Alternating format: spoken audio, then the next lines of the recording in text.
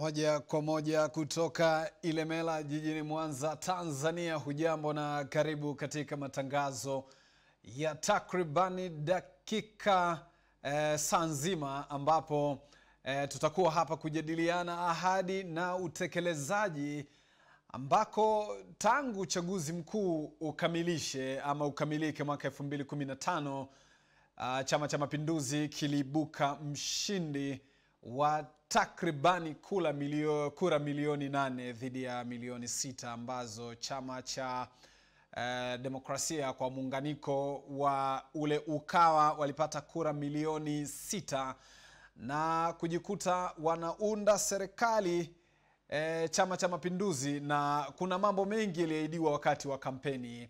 Kuna majimbo ambayo vyama vya upinzani viliwaangusha wana CCM na kuna maeneo wana CCM waliwaangusha wapinzani. Pale Mbeya mjini pale e, Chama cha Demokrasia na Maendeleo Chadema kiliibuka ushindi kwa kupata e, kumpatia Joseph Mbilinyi aka Sugu, watu wanamuita hivyo, uh, wanamuita mbunge wa Mbeya mjini, ambaye katika ahadi ambazo aliziahidi na kuzitekeleza amezitekeleza kwa kiwango gani na yukoje kwa sasa, na bado siku chache ama miezi michache kwenda uchaguzi mkuu. Vipi wana Mbeya, mnasemaje? Karibuni sana katika matangazo haya. Emmanuel Makuliga yuko hapa Nyanda Lukinda kwa upande wa Dodoma yuko kuhakikisha tunampata Sugu barabara usiku wa leo. Unaweza kushiriki matangazo haya kwa kutuandikia ujumbe mfupi katika eh, Instagram kwa majina hayo na Facebook. Nitasoma kila ujumbe ambao umefikia hapa, wenye maana, wenye tija, sio ujumbe ambao unaviashiria. Leo pia kupitia eh, YouTube eh, tayari wameendelea kujitokeza watu wanagombea urais eh, ukiacha Dr. May Rose ambaye alikuwa wa kwanza kujitangaza kupitia chama cha demokrasia na maendeleo Chadema. Tumemwona Peter Msigwa, tumeona leo Tundu Antipas Lissu naye ametaja na kusema kwamba anataka kuwania, lengo lake ni kuwania urais wa Tanzania. Ndiyo mambo yameanza hivyo.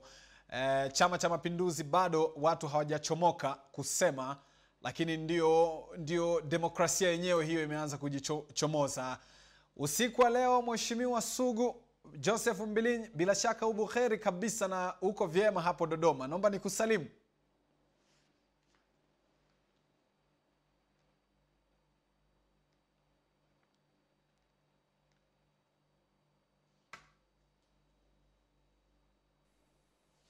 Mungu, afya iko imara. Yep. Okay, asante sana.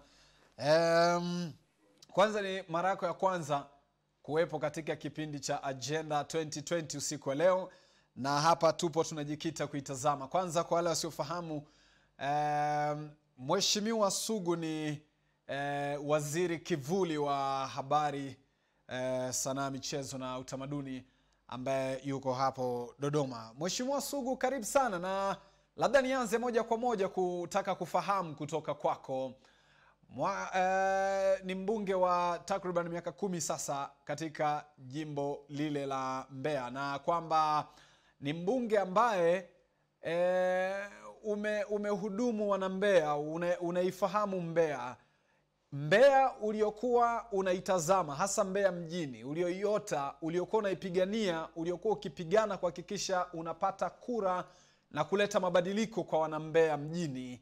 Ndio hii Mbeya ambayo ulikuwa unaikusudia, ndio umeiona Mbeya au bado unahitaji muda wa kuwasaidia wananchi wa Mbeya kuwa katika hali nzuri? Ni Mbeya ulioiota ndio hii unayoitazama kwa sasa?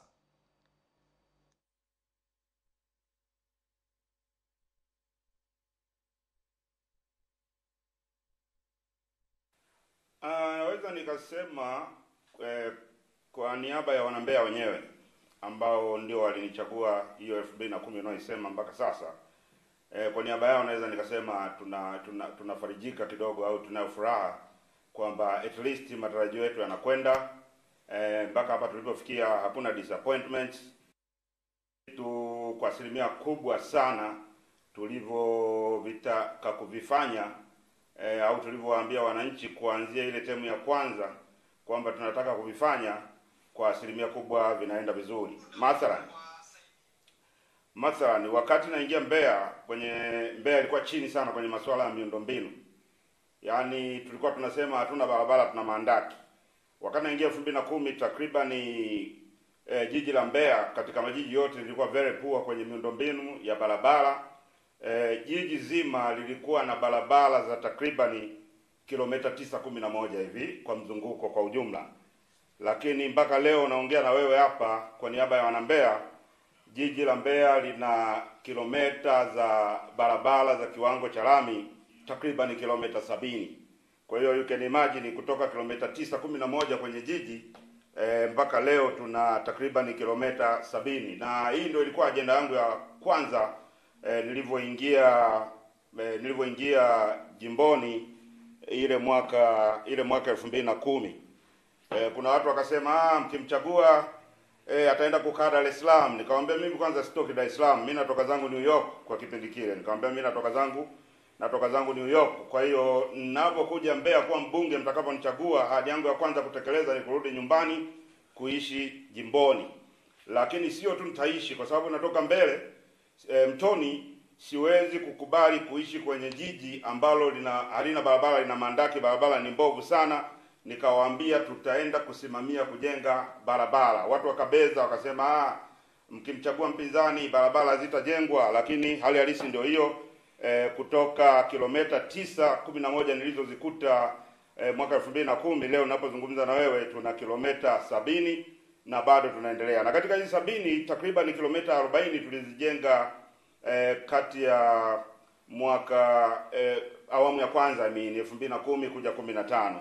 Eh, awamu hii hatujajenga barabara nyingi, tunaendelea tunajitahidi, lakini hatujajenga barabara nyingi sana, na bado maeneo mengi yana yana kutokana na hili swala la kuhamisha eh, jukumu la kusimamizi wa barabara kutoka kwenye halmashauri kwenda kwenye TARURA. Eh, limepelekwa ile jukumu TARURA.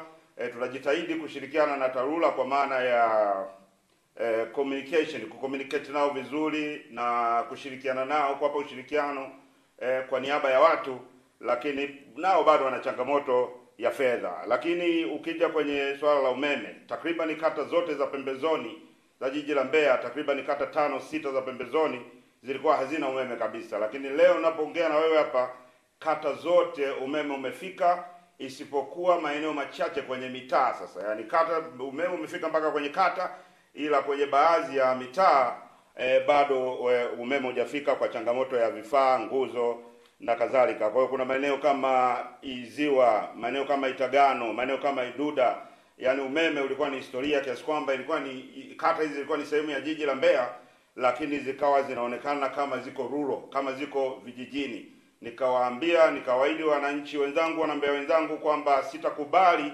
tuwe na jiji moja lenye sura mbili, yani sura ya urban na sura ya rural.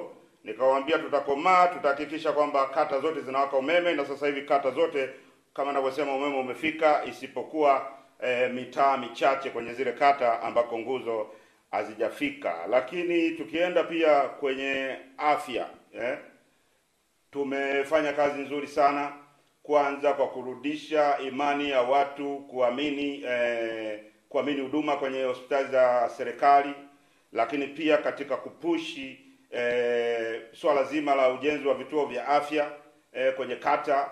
Kwa temu hii tu tumesha eh, tumeshaweka nguvu kwenye kata takribani vituo vya afya takribani vinane, vingine vimekamilika, vingine bado viko vinaendelea na ujenzi. Hivi ambavyo havija vimekamilika na vyenyewe vingi vinakutana na changamoto ya ukosefu wa wahudumu E, wa afya na kama wanambea wananifuatilia na hata kama wewe mwanahabari unanifuatilia, unaweza ukaona ni mara ngapi nikiwa ndani ya bunge nimepiga kelele kuhusiana na umuhimu wa kuongeza wahudumu wa afya.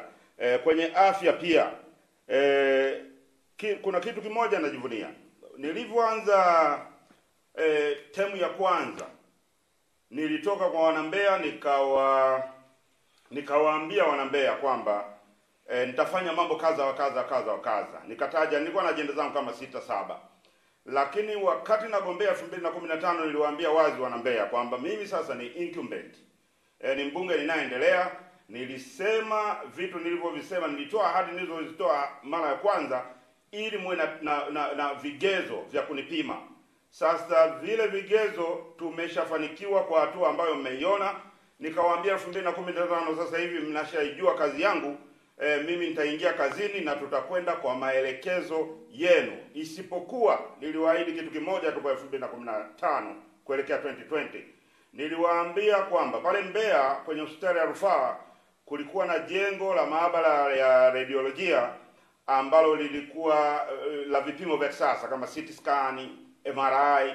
Ili jengo lilikuwa limejengwa miaka mingi sana, zaidi ya miaka kumi na tatu iliyopita, kumi kumi na tatu iliyopita, wakati Profesa Makusa akiwa waziri wa afya akalianzisha lile jengo lika, alivyoondoka likabaki pale mpaka likaanza kuoza likawa jumba la popo, hata kuwezekwa lilikuwa halijaezekwa. Nikawaambia wana Mbeya elfu mbili na kumi na tano kwamba sita kuja kugombea kuomba kura 2020 ikiwa jengo la radiolojia kwenye hospitali ya rufaa Mbeya litakuwa bado halijakamilika. Nikamwambia siwezi kukubali kuendelea kuwa mbunge ambaye mtu akihitaji vipimo vya CT scan na MRI inabidi tuanze kuchangishana fedha, aidha aende Mwimbili, aende Dar es Salaam, aende Peramio au aende Ikonda. Nikamwambia sitakuwa tayari kuwa mbunge wa aina hiyo. Kwa hiyo ahadi pekee nayo hapa ni kwamba nitaenda kupambana mpaka kuhakikisha kwamba hili jengo la radiolojia linakamilika. Sasa kwenye hizi kazi kuna vitu unavipata kupitia kuuliza maswali, kuna vitu unavipata kupitia kujenga hoja mbalimbali bungeni, lakini kuna vitu unavipata kupitia lobbying. Sasa kupitia lobbying tukafanikiwa eh, nilivyoingia tu 2015 wananchi wamenichagulia tena. Kuna wazee wakawa wanasema ah, Sugu eh, angalia sana bwana, usiwaambie kwamba hautakuja kuomba kula usipopata hiki usipopata kile, kwa sababu huwezi kujua kama serikali itakuwa namna gani. Nikawaambia hata kama tutakuwa hatujafanikiwa basi nitakuja kujenga, nitakuja kuwapa majibu, lakini hili lazima nilisema na nilisema kila kata. Nashukuru baada ya kuingia nikachukua hii ruti ya lobbying.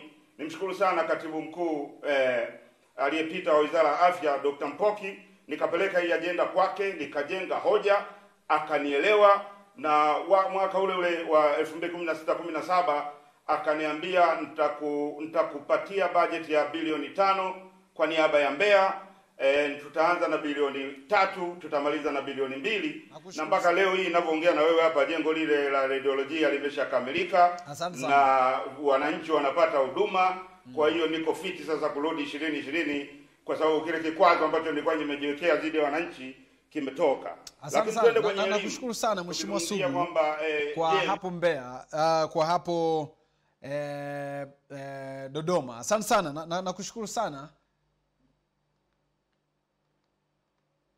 na, kushukuru sana. Tu, tumejaribu kusikiliza namna ambavyo e, ume, umejaribu kufafanua e, haswa maeneo ya hospitali.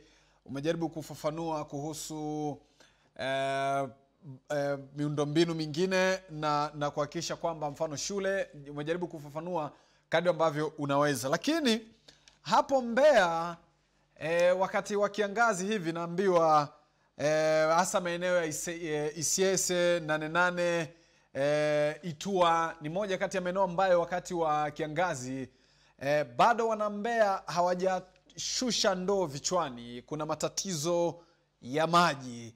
E, umesema umetoka Mamtoni, New York mfano pale Marekani. Matatizo ya maji sidhani kama yapo kabisa pale New York, lakini mbea mjini bado eh, kuna maeneo kama kiangazi watu bado wanapata matatizo ya maji. Hemu ufafanuzi huu, hiyo Mbeya ya New York i, imekidhi kiwango cha wanambeya kuwa na maji ya kutosha katika maeneo hayo kama mbunge, na uunganishe wakati huo huo na hizo barabara za barabara za mitaa, maana umejaribu kuzungumzia barabara kuu. Kwa mfano, kuna zile barabara ambazo zinaunganishwa mitaa kwa wanambea zikoje? Na katika hali hii ambayo kwa sasa tumetoka katika mvua hizi eh, moja kati ya maeneo yenye ukorofi mkubwa ni barabara zinazounganisha mitaa. Kwa ujumla huu, kwa miaka takribani kumi sasa, unaenda huu wa kumi e, tukisema wanambea wana tatizo la maji, haiwezi kuwa aibu kwako, mheshimiwa mbunge. Karibu sana.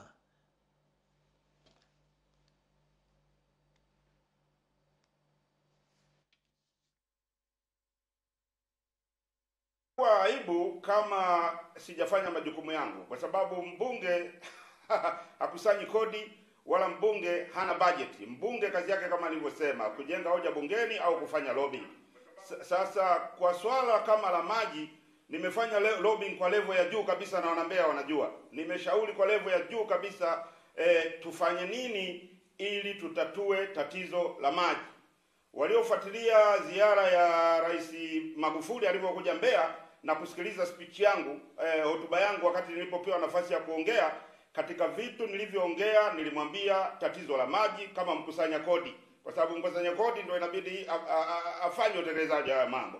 Nilimwambia tatizo la maji na nikatoa hadi eh, wazo ushauri ambao mimi niliupata kutoka kwa wataalam pia wa maji eh, kwamba nini kifanyike ili kuondoa kabisa tatizo la maji katika jiji la Mbeya. Kimsingi nilishauri kwamba kwa mujibu wa wataalam, ili kuondoa tatizo la maji kabisa mbe, katika jiji la Mbeya na mkoa wa Mbeya pengine mpaka Songwe e, tunatakiwa tutumie chanzo cha maji kutoka mto Kiwira ambao uko kama kilomita 30 40 kutoka e, jiji la Mbeya.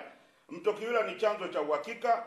Bajeti inayotakiwa ni bilioni sabini tu kwa mujibu wa wataalamu, na wanasema kwamba e, kwa jinsi ya jiografia ya ardhi iliyokuwepo katika kutoka Kiwira, mto Kiwira mpaka kuja Mbeya na kuendelea ni kuna mteremko. Kwa hiyo wanasema kwamba iwapo mradi huu utakamilika, hatutahitaji hata mashine kwa sababu maji yataweza kwenda kwa nguvu, kwa force of gravity. Sasa hili nimeshalipeleka mpaka kwa rais wa jamhuri eh, Dr. John Pombe Magufuli ambaye ndio mkusanya kodi eh, mwenyewe kabisa, na na niliamini kwamba amelisikia na wanambea walimsikia mbunge wao alivyotoa hiyo solution ya maji kwamba nini kifanyike ili kuondoa kabisa tatizo la maji, na tunasubiri sasa eh, kama mpaka sasa hivi halijafanyika. Kwa hiyo labda tu nitumie fursa hii kuambia wanambea, kwa sababu maji haya mpaka leo hajanii, labda tujaribu, uchaguzi unakuja, tujaribu kete nyingine eh, kwa upande mwingine, ili kuangalia kama labda watamsikia mbunge wao eh, na wataleta bilioni sabini kwa ajili ya kukamilisha ule mchakato wa maji. Kuhusu barabara hizi ulizosema za mitaani, kuna zingine ziko sawa sawa, e, zingine bado, kuna zingine ziko sawa sawa, zingine bado. Na kama nilivyosema mwanzoni 2010 15 tulikuwa tunaenda kasi sana, ndio maana tuliweza kutengeneza barabara zaidi ya kilomita 40. Lakini sasa tatizo sasa hivi ni kwamba kama ninavyokuambia, mamlaka ya usimamizi wa kazi za miundombinu, kazi za barabara yalitolewa kutoka kwenye usimamizi wa halmashauri yakapelekwa TARURA. TARURA e, tunashirikiana nao, tunafanya nao communication, lakini tatizo ni kwamba hawana fedha. Lakini pia e, kuna barabara za maeneo mengine, kwa mfano barabara ya inaitwa barabara ya Mapelele eh? Kuna barabara inaitwa inaitwa inaitwa inaitwa barabara ya Mapelele maarufu sana, barabara kongwe sana kule. Ile barabara ni kati ya kilomita kumi ambazo Rais wa Jamhuri aliahidi kwa wanambea alipokuja kuomba kura za urais kwamba e, atazijenga zile barabara, lakini katika zile kilomita kumi za Mheshimiwa Rais mpaka leo hatujapata hata nusu kilomita kwa kweli. E, kwa hiyo ndio tuko katika situation kama hiyo, lakini ukilinganisha tulikotoka kutoka jiji la Mbeya kuwa na kilomita tisa e, kumi na moja hivi mpaka leo tuna kilomita around sabini, ndio maana kidogo tunajiona kwamba tuna nafuu, kwa sababu kuna maeneo yalikuwa ni disaster. Kuna eneo kama linaitwa Hituha ambako huko actually ndio mimi nakaa barabara zilikuwa ni mbovu kiasi kwamba mama mjamzito akipata uchungu usiku, ili kumtoa kule kumwaisha hospitali, taksi ilikuwa mpaka shilingi elfu arobaini mpaka elfu arobaini mpaka hamsini ikipungua sana elfu thelathini Kwa nini? Dereva taxi anasema bwana, nikienda kule naweza nikabaki. Lakini leo kwenda Itua kimepigwa kitu cha lami eh, mwanamama eh, mjamzito anapata uchungu usiku E, inaweza kumgharimu shilingi elfu mbili elfu tatu tu kwa bajaji kuwahi kufika hospitali. Na nakushukuru sana Mheshimiwa Sugu kwa eh, swa, uh, maelezo hayo ambayo umejaribu kuyafafanua eh, lakini kwenye hilo swala la maji eh, umejaribu kusema ume, ume, umepigana vya kutosha katika mazingira hayo eh, haiwezi kuwa hukumu tosha hii ya kwamba haufai tena kuendelea kuwa mbea e, mbunge wa mbea mjini. Kama watu watakwambia miaka mitano iliyopita tatizo la maji mbea bado likawepo kwa baadhi ya maeneo, likaja tatizo tena jingine la maji miaka mitano mingine ya mweshimiwa Joseph Mbilinyi. elfu mbili na ishirini ndo hii hapa uchaguzi utaweza kusimama jukwaani kuwaambia nimemwambia rais ambaye ni mkusanya kodi e, una mkataba wa msingi na wananchi wa Mbeya ambao uliwaahidi wananchi wa Mbeya kwamba utatatua matatizo yao. Swala la kodi na mengineyo, wao hawana mkataba na hicho zaidi ya mkataba wa msingi wewe na wao, kama utawaletea maendeleo. Haiwezi kuwa hukumu tosha hii ikakuondoa kwenye kiti chako 2020 Sugu.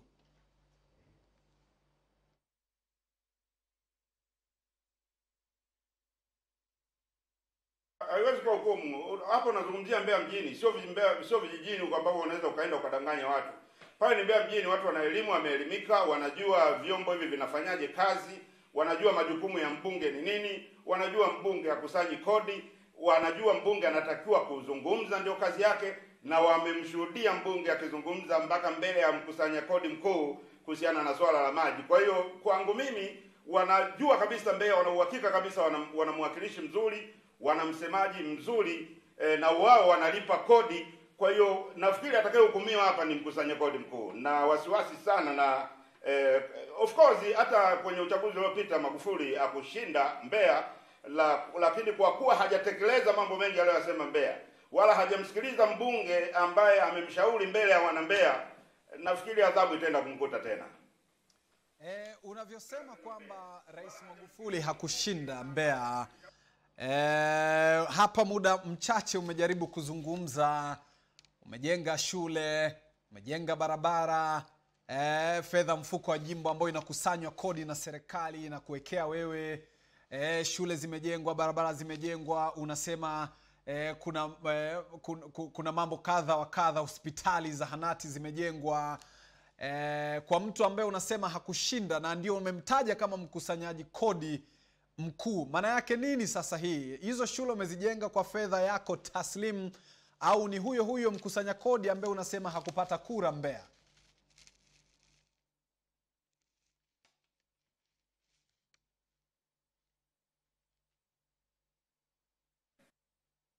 una, unajibiwa kutokana na swali unalouliza.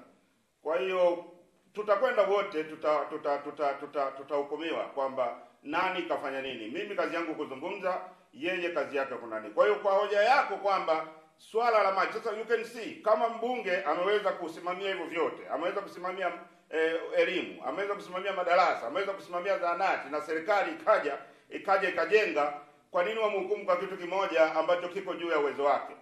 Eh, unapozungumzia fedha za mfuko wa jimbo, unajua tuna tatizo kwenye ile nchi. Unapozungumzia fedha za mfuko wa jimbo, utafikiri zile fedha ni za mtu, zile fedha ni za umma, kama ambavyo zilivyokuwa fedha zingine. E, zile fedha ni za umma. Tatizo ni kwamba nani ana mamlaka ya kufanya maamuzi katika kiwango gani. Mimi kwenye mfuko wa jimbo na mamlaka nazo kama mwenyekiti wa mfuko wa jimbo, ndiyo maana yale yanayotakiwa kufanyika kwa levo ya mfuko wa jimbo huwa nime, e, nimefanikiwa kuyafanya kwa asilimia mia moja. Yale ambayo yako juu yangu kama bilioni sabini mla project ya bilioni sabini mbunge atatoa wapi fedha? Ni lazima zitoke kwenye mfuko mkuu ambao mkusanyaji wake mkuu ni kama hivyo tulivyomtaja. Kwa hiyo hata hawezi kukwepa lawama. Wananchi watamuuliza tu kwamba mbunge, tulimsikia mbunge aliongea mbele yako kuhusiana na maji eh, haukamu uh, lile swala alikutekelezwa? Uh, asante sana. Kuna wakati tuliona unapinga vikali sana swala la vitambulisho almaarufu vilikuwa vinaitwa vitambulisho vya Magufuli vya machinga vile ambavyo zilitolewa, na ukawa unajaribu kuona kama kuna dhuluma hivi ama kuna janja janja hivi inataka kufanywa, lakini kumekuwepo na matukio kadhaa ambayo yamekuwa yakiwasumbua na kuwashurutisha vikali hawa wa machinga hapa Mwanza. E, Nyamagana hapa? Walikuwa wakipigwa mabomu e, maisha yao yote. Na wakapata vitambulisho, wanafanya biashara. Hapo mbea kumekuwa na matukio ya maandamano ya hapa na pale katika hivyo. E, vipi e, katika hilo? Umeshaunga mkono sasa juhudi ambazo zinafanywa na serikali ya awamu ya tano hasa hapo mbea kwenye kesi ya machinga. Kumekuwa na utulivu wa kutosha na kwamba Rais Magufuli anatajwa kama shujaa katika eneo hilo. E, wewe Mbeya wa machinga walikuwa wengi sana. Vipi, unaunga mkono hiyo sasa kwamba ni moja kati ya hatua kubwa ambayo imewasaidia sana wafanyabiashara wadogo wadogo hasa wana Mbeya katika maeneo ambayo walikuwa wakifanya biashara?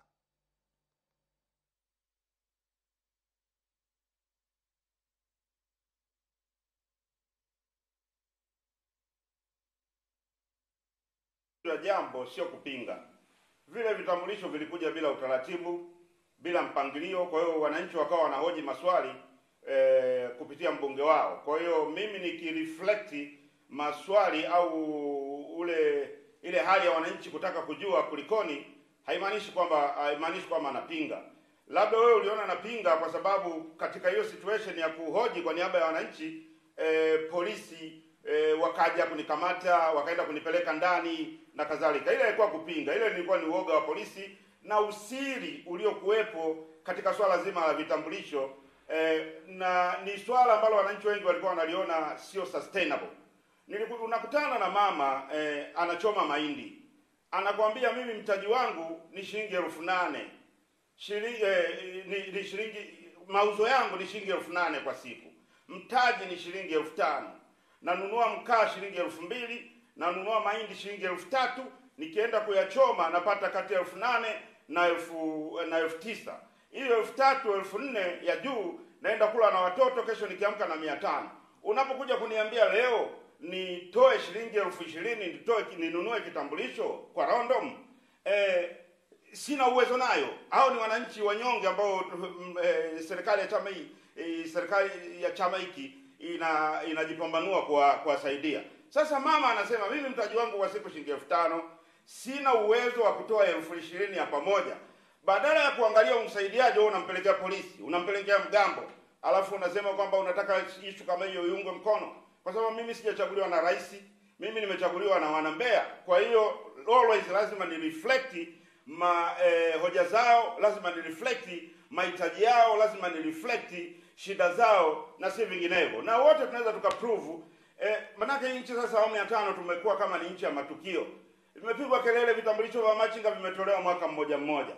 Haya vimeshatoka mwaka mmoja, vingine vinavyofuata vinatoka lini? Je, vile vilivyopo bado vinatumika? Wao lile swala ni kama lilikuwa eh, sio sustainable.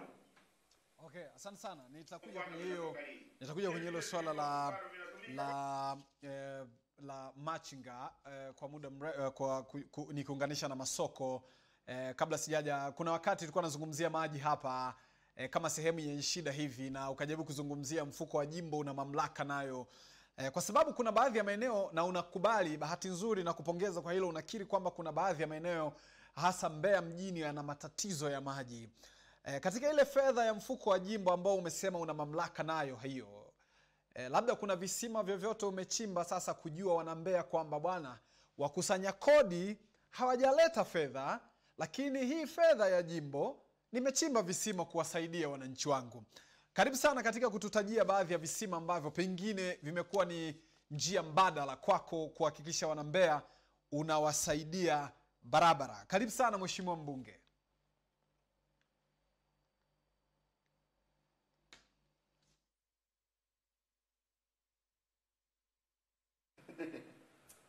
Nyanda bwana, kwa sababu Mwanza mnachimba visima, ndio nafikiri kila sehemu anachimba visima. Kila eneo lina demografiki zake bwana. Eh, kwa nini tuchimbe visima wakati tunakwambia utupe bilioni sabini tulete maji kwa uhakika? Kwa nini utatue eh, tatizo kisiasa? Kwa sababu Mwanza Nyanda anachimba kisima, basi na mimi eti nichimbe kisima Mbeya au nifanye hivi Mbeya? No, kila sehemu zina demografiki zake, kila sehemu zina mahitaji yake na si vinginevyo. Tukirudi kwenye swala la wamachinga kwamba tu msifu Mheshimiwa Rais eh, kwamba ameleta utulivu wa machinga labda huko Mwanza, lakini utulivu wa wamachinga Mbeya umeletwa na mbunge wa Mbeya mjini. Kama umewahi kusikia kwamba Mbeya kuna msemo anasema Mbeya nchi sugu rais, hii ilitokana hii hii, hii, theme ilitokana na eh, namna nilivyosaidia kutatua tatizo la wamachinga Mbeya. Huko nyuma wamachinga Mbeya walikuwa ni watu wa kunyanyaswa, watu wa kupigwa na mgambo wa jiji, watu wa kupigwa, kukamatwa na polisi, kina mama uza, wauza mboga kina mama ntilie, walikuwa ni watu ambao eh, mgambo wana warangi. Wana warangi wanachukua vyombo vyao. Ilikuwa ukienda ofisi za halmashauri ya jiji unakuta kuna masufuria, masinia, masahani ya mama ntilie yamejaa pale, wametoka ku, ku, ku, ku, mgambo wametoka kuwanyang'anya huko mama ntilie huko wanakofanya shughuli zao, mpaka pale mbunge alipoingia na kuwaambia kwamba tunatakiwa kufanya nini, alafu serikali ikakataa, wakaendelea kuwanyanyasa wananchi, wakariot waka raise up wa, kwa kuongozwa na wamachinga.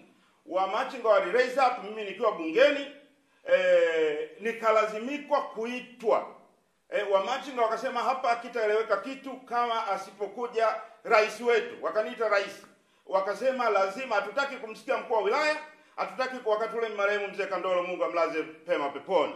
Kina mzee Kandolo wana busara, wakuu wa mikoa wa zamani, sio hawa wa mikoa wa mikoa sasa hivi eh? Nani moto tu. Mzee Kandolo akasikiliza wananchi wanataka nini. Wananchi wanasema wanataka kumsikia mbunge wao. Mzee Kandolo akasema njoo. Waziri Mkuu Mheshimiwa Pinda akasema Sugu, nenda, watu wako wanakutaka, viongozi wasikivu. Nikaenda Mbeya kwa mtiti, vita ambayo ilipiganwa kwa zaidi ya masaa sabini na mbili watu wakapigwa risasi, watu waka, mji ukafungwa, watu wakashindwa hata kwenda hospitali kupeleka chakula kwa wagonjwa. Mji ulikuwa disconnected, kila junction ya barabara kulikuwa na magari ya deraya ya jeshi, kulikuwa na polisi. Mji ulikuwa kwenye total lockdown kama tuko Libya. Eh, mbunge alivyokwenda ndani ya masaa matatu mji ukafunguka kwa sababu alikwenda na hoja zile ambazo wananchi wale walikuwa wanataka kuzisikia. Kuanzia pale amani kwa wamachinga Mbeya ndio ilikuwepo mpaka leo, zingine ni siasa tu na madoido. Asante sana na, na, na, na kushukuru sana mheshimiwa mheshimiwa eh, mheshimiwa Sugu, asante sana na eh, nitasoma ujumbe. Wananchi wametuma ujumbe mwingi sana, na kabla sijaenda kwenye ujumbe pale Mwanjelwa katika soko la uh, linaitwa soko la Mwanjelwa pale ni moja kati ya masoko ambayo yako mjini, lakini ni masoko ambayo wafanyabiashara hawa e, hawa wako wapo, lakini ni wachache sana. Labda pengine nataka kujua huyu mbunge e, Joseph Mbilinyi, mbunge wa Mbeya mjini, ambaye anasema amerejesha utulivu, yeye yeah, anasema amerejesha utulivu wa machinga, lakini kumekuwa na ujenzi wa masoko madogo madogo katika maeneo mengine. Of course mwingine anaweza kusema masoko holela holela hivi e, na kwa mfano kuna soko la Sido lile liko pembezoni kule, lakini kwa ile eneo la airport kuna soko jingine limejengwa huko eh, ambalo lilikuwepo eneo la airport. Halikadhalika kuna kuna kuna hilo la Mwanjelwa.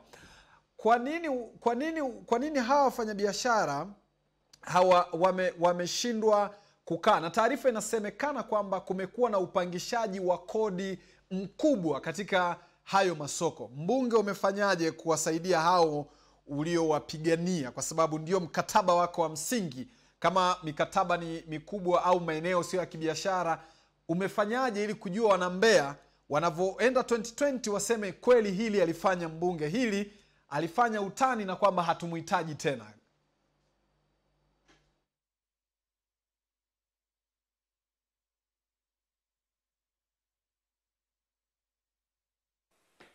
Sasa wewe wewe umejenga soko eh, bajeti ya soko mwanzo ilikuwa bilioni kumi na tatu. Mimi hapo sipo wala sio mbunge.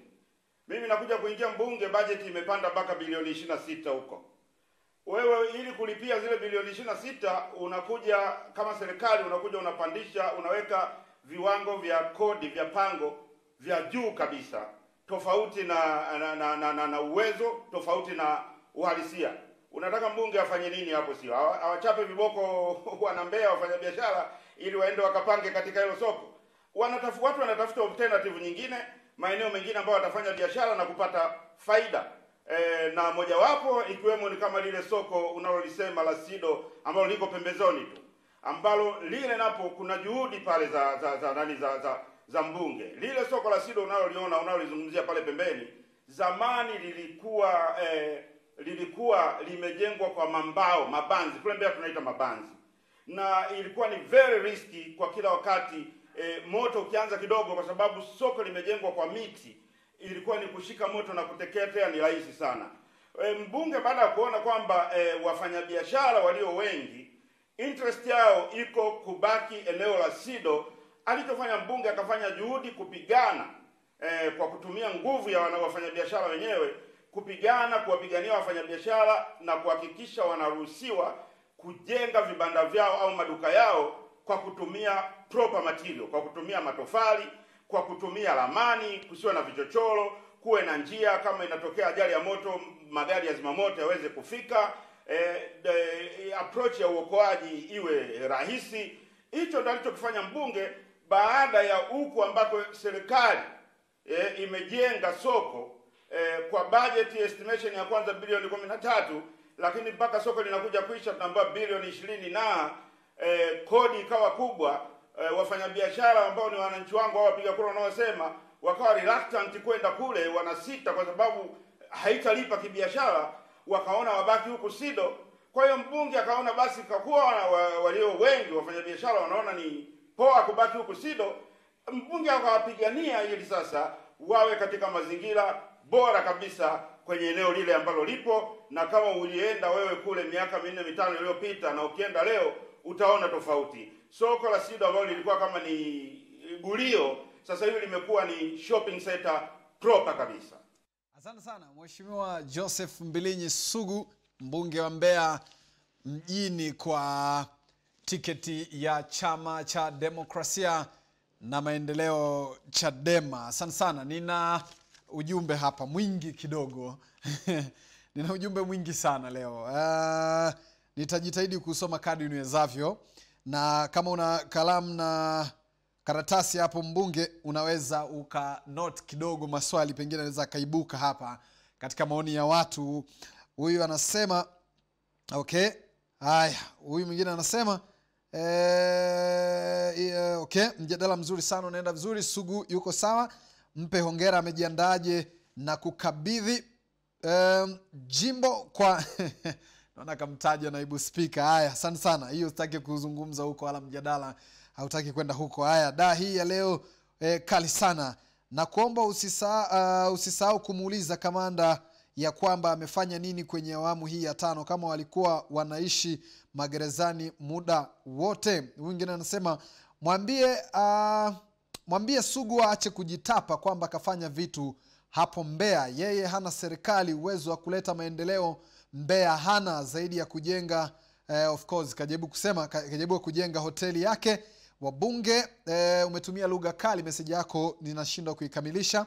Mwingine anasema matatizo ya maji Mbeya lazima yawepo Mtozi, sababu mbunge kazi yake kuleta maendeleo jimboni, kazi yake ni kutunga sheria na kushauri serikali bungeni. Sasa huyo anaongea mambo ambayo sio yeye mfanyaji, anaitwa Shakitila Yusufu.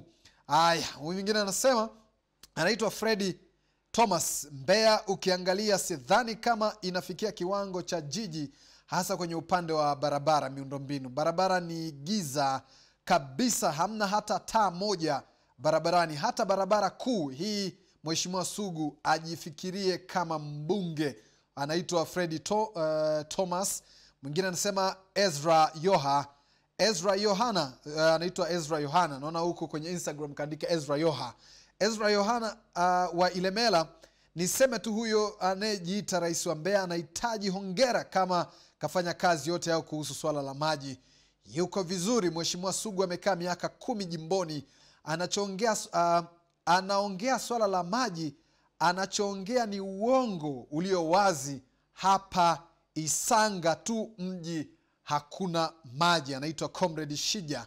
Huyu mwingine anasema eh, anasema okay, anasema eh, Mbeya mjini hakuna kata yenye barabara nzuri hata kidogo. Hata alipojenga, alipojenga tu hakuna barabara nzuri. Nahisi eh, anasema haishi Ituha, anaishi Mwambene. Huyu anasema hivyo. Mwingine anasema uh, huyu anaitwa Auhabas. Upande wangu kwa baadhi ya vitu kajitahidi sana, tena nampa pongezi, ili huku ila huku Ituha kuna wezi, kuna wezi sana, tena wanaiba asubuhi kabisa watu wakienda kazini. Sijui yeye kama mbunge wetu anawasaidia wananchi wake wa Ituha, wizi umezidi.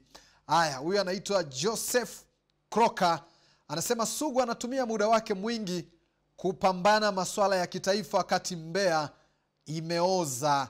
Ajiandae kukabidhi jimbo 2020 Hii- haya hiyo mingine ulioandika sinaweza kuisoma. Haya nisome angalau mbili tena za mwisho. Huyu anasema mbunge ni msemaji wa wananchi sio mtendaji. Mtendaji ni serikali. Anaitwa happy senga. Mwingine anaitwa anasema eh, wamachinga toka ameingia magufuli vurugu hazipo. Kwa hiyo ni wazi sugu alikuwa anashinikiza vurugu. Kutengeneza jina zaidi hamna kitu kama hicho mtozi. Mheshimiwa kama kuna kuyajadili haya tafadhali wametaja maeneo kama itunda.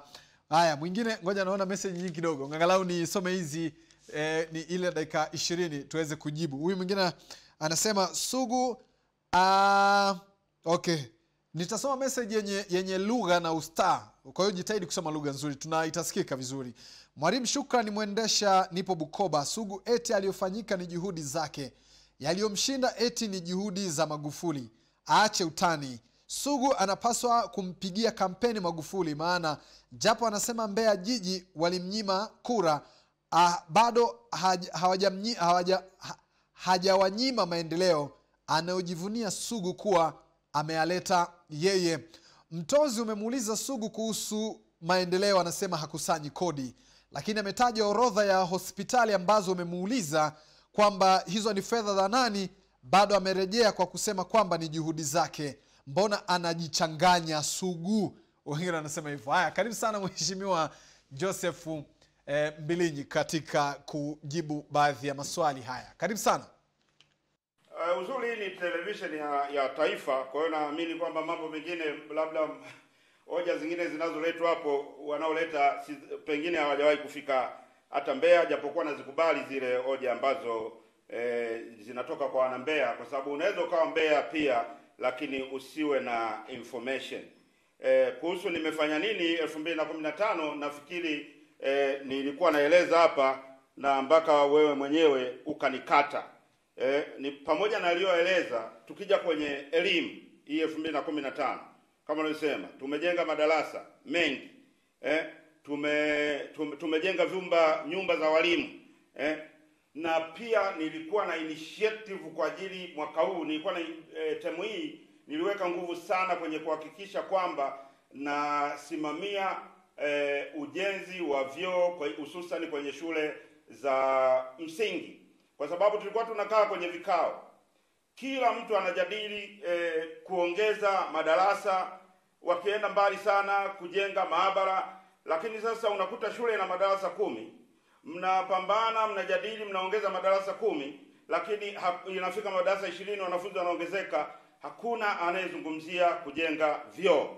Mimi katika kipindi hiki kwamba nimefanya nini 2015 nilichukua initiative, initiative ya makusudi kabisa kuhakikisha kwamba nakomaa na ujenzi eh, wa vyoo kwenye shule mbalimbali mbali za msingi na mpaka sasa hivi tumevisifikia shule za msingi takribani kumi na moja kwenye kata mbalimbali ambako tumeenda kupeleka nguvu of course kwa kushirikiana na wananchi na vyanzo vingine kuhakikisha kwamba tume tumeboresha eh, hizi shule kwenye maeneo ya vyoo ili watoto wawe wanasoma wakiwa comfortable.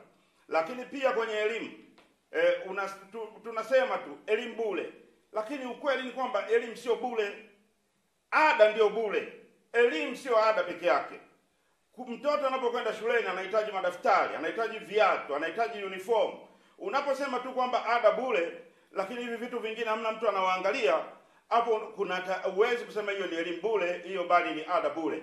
Lakini mimi kama mbunge nimeendelea kuchukua jukumu la kuhakikisha kwamba wanafunzi ambao hawana uwezo kwenye shule hususan kwenye shule za sekondari za kata wawe yatima wawe wanaotoka kwenye mazingira magumu nimehakikisha na hii sio kwa temwi toka nimeingia toka nimeingia elfu mbili na kumi kuanzia elfu mbili na kumi na moja kila mwaka nimekuwa nikishona uniform za wanafunzi. Watu wanasema hey, umetoa wapi hela? Kwa mfano hizi hela zinazoshona uniform za wanafunzi nazitoa kwenye mziki napiga show napata hela naenda kununua eh, kushona uniform. Eh, kila mwaka kuna mwaka wanakuwa watoto mia tatu kuna mwaka wanakuwa watoto mia mbili kuna mwaka wanakuwa watoto mia moja. Hata mwaka huu pia nimefanya nimeshona uniform kwa watoto yatima na wenye uhitaji kutoka shule mbalimbali za sekondari wasiopungua mia moja na saba. Mia moja na saba. Why? Unakuta kuna mtoto wa kike amefaulu. Ana akili sana amekaa darasani lakini pale alipokaa ajalipa ada sawa ada bure. Lakini pale alipokaa blausi yake na mtoto ameshakuwa amepevuka blausi yake imechanika maungo yake ya ndani yanaonekana. Huyo mtoto hata awe genius vipi? Hawezi kabisa kuconcentrate kwenye masomo. Mimi nikasema hii haiwezekani ni lazima nifanye kitu na nikachukua jukumu la kuwashonea watoto hawa uniform.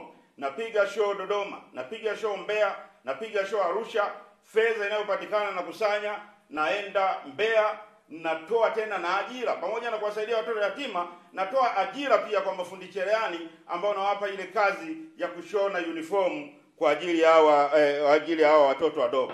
Lakini pia kwenye shule kuboresha elimu. Kwenye hizi shule za za kata. Zunguka nchi hii. Mbeya nafikiri ndio jiji pekee ambalo ukienda kwenye shule za kata unakuta kuna computer libraries. Kuna kompyuta, madarasa ya kompyuta proper kabisa, utafikiri international school. Na hii project tumeianza toka awamu iliyopita na tumekwenda eh, sasa hivi tumekwenda takribani ya nusu ya shule za kata. Eh, shule tunaiambia itupe darasa, wanatupa darasa empty ambalo limezekwa lina vioo, furnishing nafanya mwenyewe napeleka kompyuta kumi kwa kila shule kwa ajili ya watoto wa kidato cha nne kujifunza. Mantiki yangu ni nini? Watoto wengi wenye uwezo wanapomaliza kidato cha nne, wazazi wao wanawapeleka kwenye vyuo mbalimbali vya kompyuta ili kupata basic computer knowledge. Mimi nikasema nitatoa fursa hii kwa watoto wote wa Mbeya ambao wanapita kwenye shule za kata, nikafungua hizo library, ziko zina exist kompyuta unaposema kompyuta moja eh, darasa moja lina lina lina lina lina kompyuta kumi hapo wanaongelea kwamba eh, kompyuta moja kwa darasa average la watoto 40 ina maana darasa moja likiingia kwenye session ya kompyuta eh, kompyuta moja na uwezo wa kutumiwa na wanafunzi wanne. Hiyo ni standard ya mtoni kabisa kompyuta moja watu wanne na hili swala linaendelea isipokuwa tu kwenye baadhi changamoto kwenye baadhi ya shule ambapo tumefungua yale madarasa lakini kwa bahati mbaya hakuna walimu wa kompyuta kwenye zile shule na nimekuwa nikiwaomba sana wizara ya elimu e, wajaribu kuangalia nini wanafanya ili ile juhudi ya kuhakikisha watoto wanapata basic computer knowledge e, waweze kupata walimu wa wa wa wa, wa, wa, wa kuwafundisha kule Mwingine ni- e, mwingine anasema Mbeya haifikii kiwango cha jiji ha, uh, barabara hazina taa. Barabara nyingi zina taa tofauti na tulivyokuwa. Tena sasa hivi kuna taa za sola maeneo ya Block T kote, e, barabara zote zina taa za sola, lakini hata ile barabara zile taa za barabara kuu anazozisema ah, kuna giza. Zile taa za kwenye barabara kuu ni juhudi ya mbunge e, kwa kuzungumza na wadau ambao ni wawekezaji. Wale wawekezaji wanaweka taa hii, wamefanya miji mingi sana, wanaweka taa, wanaziendesha zile taa kwa kuweka matangazo ya biashara. Wale wenye matangazo ya biashara wanapowalipa wale wenye makampuni, ndio inapatikana fedha ya kulipa eh, biashara. Sasa kama uchumi umevurugika, biashara zimekufa, watu hawataki kutangaza biashara, hela haipatikani, taa zipo, hakuna bili. Ni jukumu langu mimi, ni jukumu sasa la serikali liweze kulipa bili ya zile taa ambazo mbunge amezipigania na zimewekwa zaidi ya miaka sita saba iliyopita, ziwake ili wananchi hawa wapite eh, wapite wapite kwenye mwanga kama ilivyokusudiwa eh, na mbunge na wadau wengine ambao walisimamia ili swala la taa eh, anasema mambo ambayo nayaweza, mambo ambayo nimefanya, anasema nimefanya, nisiyofanya nasema kwamba sio ni ni ni, ni, ni jukumu la rais. Of course eh, kuna mambo ambayo we, kama hivi tunakwambia project za kujenga labda vyoo sijui nini, bajeti zake unakuta milioni thelathini, milioni tano, milioni kumi ambazo zinaendana na bajeti ya mfuko wa jimbo ambao mbunge ana mandate nao. Lakini sasa project kama ya maji ya bilioni sabini mbunge hana hiyo hana hiyo hana hiyo hana hiyo bajeti, na ndio maana sasa ifike mahali labda tufike tuwe kama wenzetu Kenya, kwamba ule mfuko wa fedha za jimbo eh, bajeti yote au kiasi kikubwa cha bajeti ya miundombinu ya nini kwa mbunge iletwe sasa kwa mbunge, alafu muone mbunge ata, atafanyaje. Sasa kama wewe umenyang'anya eh, umenyang'anya hata eh, hata makusanyo ya halmashauri ya jiji ambalo mbunge yuko pale kwamba angeweza kushirikiana na meya na mkurugenzi na madiwani, umechukua zote umezipeleka kwenye kapu kuu eh, hazishuki tena huku chini. Unataka mbunge atatoa wapi bilioni sabini za kujenga? Na- Nakushukuru sana Mheshimiwa mbunge. Uh, asante sana kwa kwa maelezo hayo. Muda wangu sio rafiki sana, napaswa kuondoka hapa na dakika takribani 30. Eh, muda wangu sio rafiki sana, nina nimesaliwa kama na takriban dakika mbili tu e, na dakika 30 muda wangu umekimbia sana. E, sasa swali la ujumla sana, ujitahidi kwa da, takriban dakika moja uweze kulijibu eh, maana nina tangazo na dakika 30 hapa, wananivuta vuta shati hivi kidogo eh, vyama vya upinzani vingine vimeunga juhudi serikali ya awamu ya tano. TLP kupitia kwa Mrema wameunga juhudi hizo. E, chama cha demokrasia na maendeleo Chadema tutarajie pia ku- 2020 huu kumuunga mkono Magufuli kama ambavyo TLP wamefanya. Wamemtangaza Magufuli kama mgombea wao urais kwa sababu ya wanasema kafanya mapinduzi makubwa ya kimaendeleo. Kwa takriban dakika moja tafadhali, na uwaage wanambea. Mungu akijalia wiki ijayo, uh, wakati mwingine tena tutapata fursa ya kujadiliana. Karibu sana.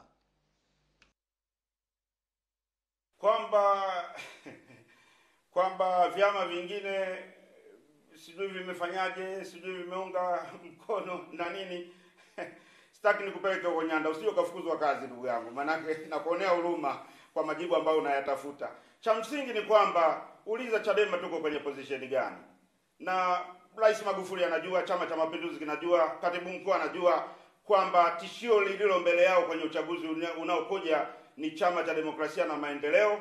E, tuko kamili, tunaenda e, kuwang'oa e, tunaenda kuchukua dola, tunaenda kuwang'oa kwenye uchaguzi mkuu.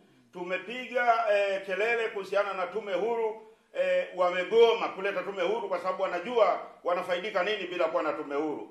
Sasa mimi nawaambia Chama cha Mapinduzi iwe na tume huru, bila tume huru tumekabidhi jukumu hili la uchaguzi wa Oktoba kwa umma. Umma ndio unaenda kuwa tume huru, umma unaenda kupiga kura, umma unaenda kusimamia kila kitu. Niwape tu rai kwa mustakabali wa amani ya taifa hili, Asante sana. waache ujanja ujanja, manake mambo ni mengi. Mara unasikia wameleta bungeni, si kesho wanaleta nani bungeni mswada wa kuzuia rais asishtakiwe, sijui nani asishtakiwe. Unajiuliza, hii miswada yote na kinga zote hizi zinazokuja wanataka kufanya nini kwenye uchaguzi mkuu ili waogope kwenda kushtakiwa huko mbele? Nakushukuru sana, asante sana Mheshimiwa Sugu, nakushukuru sana. Uh, sina la ziada. Mheshimiwa Joseph Mbilinyi, mbunge wa Mbeya mjini, ambaye tumejadilia naye ahadi na utekelezaji kwa wanambeya na uh, namna ambavyo yeye ametekeleza kwa kiwango hicho, kwa niaba ya timu nzima Emmanuel Makuligi ambaye amefanya kazi kubwa sana. Tunakushukuru Sugu pia kwa kutamka kwamba sisi ni televisheni ya kitaifa. Asante sana kwa kwa kwa appreciation hiyo, tunakushukuru sana kama mbunge. Lakini pia eh, Emmanuel Makuliga, mafundi wote wamefanya kazi kubwa iliyotukuka. Mimi ni Mtozi Nyanda Lukinda kwa hapo Dodoma. Asante sana, nisije nikakusahau. Kwa niaba ya timu nzima waliosimamia matangazo, mimi ni Mtozi Alosi Nyanda. Tukutane tena wakati mwingine, niwatakia usiku mwema.